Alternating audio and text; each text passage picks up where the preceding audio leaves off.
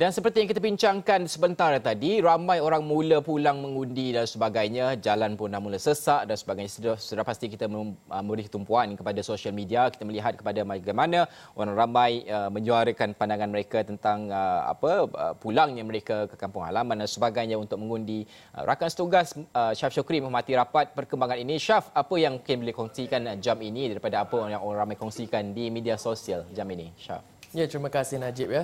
Uh, kurang daripada 24 jam lagi uh, rakyat Malaysia akan menggunakan tanggungjawab mereka untuk memilih pemimpin uh, pada PRU yang ke-14 ini dan semestinya di Twitter ya seperti pulang berhari raya Najib. Pelbagai perkongsian dikongsikan oleh netizen tapi kita masih lagi menanti gambar-gambar yang akan dikongsi oleh mereka. Mungkin uh, kebanyakan daripada mereka hari ini masih lagi bekerja sehingga jam 5 petang uh, dan uh, dijangkakan ya banyak lagi perkongsian menarik akan dikongsikan uh, di Twitter khususnya dan ini yang antara yang dapat saya kongsikan kalau boleh dibawa ke atas mula ya uh, keadaan semasa di Okey, uh, ini ada antara keadaan semasa di Twitter ketika ini ya. Ramai uh, ini uh, di Gua Musang contohnya ya. Uh, trafik sudah mula sesak uh, menjelang pilihan raya umum esok dan ini antara gambar pertama yang da- kami dapat paparkan ketika ini tapi ini bukan fokus saya pada jam ini Najib. Sebenarnya saya nak berkongsi mengenai uh, berita-berita ataupun kabar angin yang tular uh, di media sosial menjelang uh, pilihan raya umum esok. Sebenarnya banyak ya berita-berita yang ditularkan, berita-berita yang tidak berasas dan ataupun boleh dikatakan berita yang tidak dapat disahihkan kepas uh, tidak sahih kepastiannya. Dan ini antara di antara uh, yang dikongsi oleh Berksh, Berksh, Berkshire Media itu rakan strategik Astro Awani.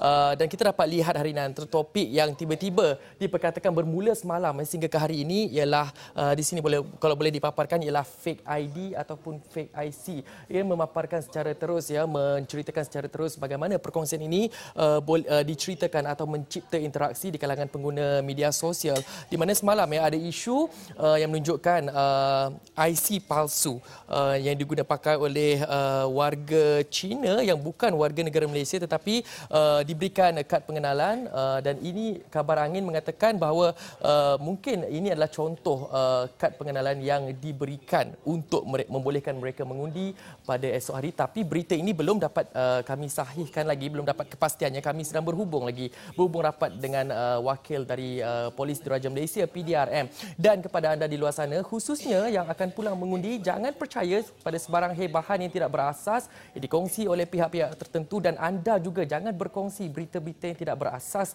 kerana ia mungkin boleh mencetuskan panik dalam kalangan pengundi dan kita tidak mahu situasi itu berlaku. Dan semestinya uh, berita palsu uh, kabar angin mengenai uh, IC uh, ataupun kad pengenalan palsu yang diberikan kepada bukan warga negara Malaysia tadi akan saya kongsikan dalam buletin yang seterusnya.